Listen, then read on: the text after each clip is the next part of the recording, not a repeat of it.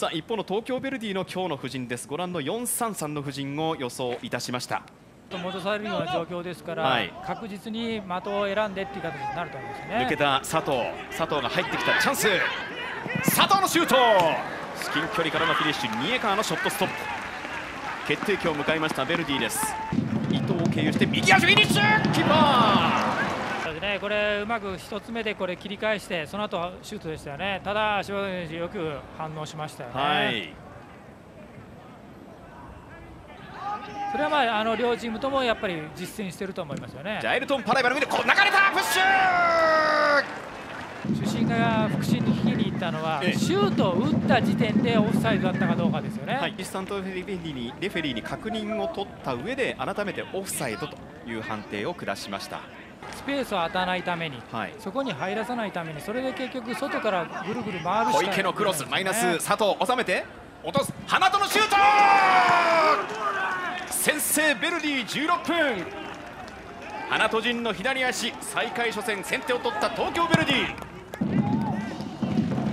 ね、これサイドからこれ上がってきたことによってあそこが空いてしまいましたよね。はい、あのどうしてもあのボランチ2人がセンターバックと近くなるので今もあの位置に入った瞬間にもう完全に新里選手は下がってセンターバックの近くまで行ってしまいましたよね。フィジカルとしてのトレーニングとしては最高ね、からリターン受けて小池が抜けるチャンス小池！ここも出てきたキーパー。左に福村。縦パス2つをつないでここまで持ってきました。山本から裏へ小池チャンス。小池のフィニッシュ山本リヒト。右森田が駆け上がる。その森田を使ったチャンス。森田!ここはスライディングよく戻りました。大崎です。低いボールニアサイド。抜けてきた。後ろからミドル!中得意の左足ですよね、え。ー佐藤涼河とそして5年ぶりに東京ヴェルディに戻ってきました杉本龍二。これが復帰戦です相手がじれてくれればもうそれでいいわけですよね、ね、裏へチャンス伊藤だ。伊藤が来た。ここは若さのカバーリングもう一度杉本受けます。ここで仕掛ける。抜けた。チャンス入れてきた。山本だ。まあ、ベルディを一旦出た後名古屋、徳島、横浜 F・ マリノス。そして横浜 FC と渡り歩いて、えー、またあベルディにやってきました